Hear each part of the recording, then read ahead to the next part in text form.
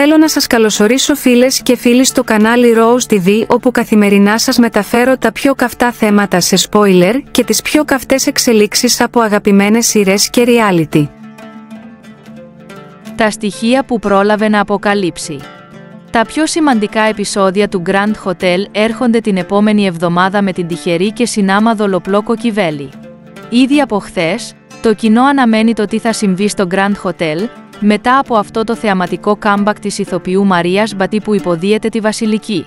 Το πιο κρίσιμο επεισόδιο είναι εκείνο της ερχόμενης Δευτέρας. Όχι μόνο για τις αποκαλύψεις που θα γίνουν, αλλά για την αδυναμία που θα υπάρξει στη συνέχεια για να γίνουν γνωστές.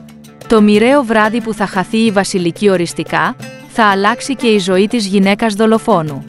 Το Grand Hotel είναι μια σειρά που δείχνει ήδη πως έχει αγαπηθεί από μια μεγάλη μερίδα των τηλεθεατών.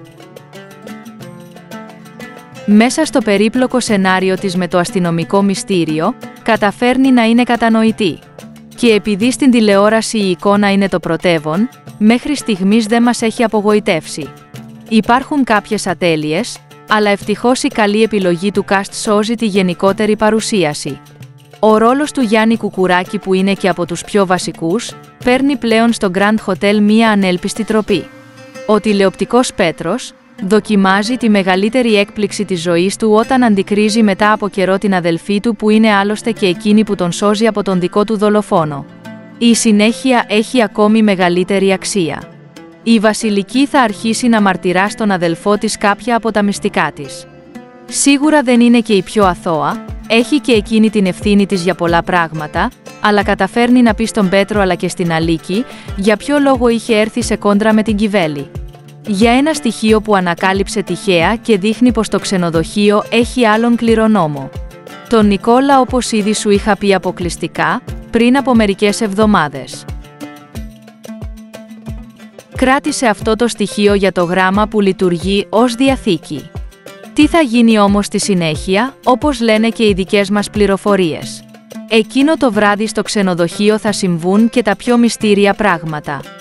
Θα έχει προλάβει να δει πριν τη Σοφία να μιλά μαζί της, θα έχει προλάβει από ότι θα μας δείξει στη συνέχεια γιατί θα είναι τρομοκρατημένη. Αυτό είναι και το λάθος που κάνει η δολοφόνος.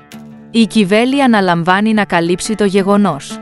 Και προς τους πελάτες και προς τον αστυνομικό χρόνικο μνηνό. Θα φανεί άλλωστε ως ατύχημα, γιατί η δολοφονία δεν έγινε με το χρυσό μαχαίρι όπως και οι προηγούμενες.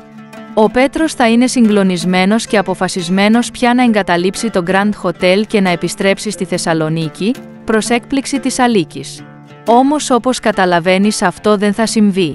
Και φτάνουμε στο περιβόητο γράμμα. Ένα κομμάτι του θα βρεθεί. Και αυτό θα είναι ένα στοιχείο που η Αλίκη θα κρατήσει για τη συνέχεια. Ήδη έχει αρχίσει να υποψιάζεται τη μητέρα της για πολλά πράγματα, αλλά προς το παρόν δεν θα έρθει σε σύγκρουση μαζί της. Μείνετε συντονισμένοι με το κανάλι μας, εδώ στο Rose TV για τα καυτά spoilers που έρχονται, με μια δωρεάν εγγραφή στο κανάλι μας και με ένα κλικ στο καμπανάκι για να μην χάνετε τα βίντεο και τα συγκλονιστικά spoiler που ανεβάζουμε.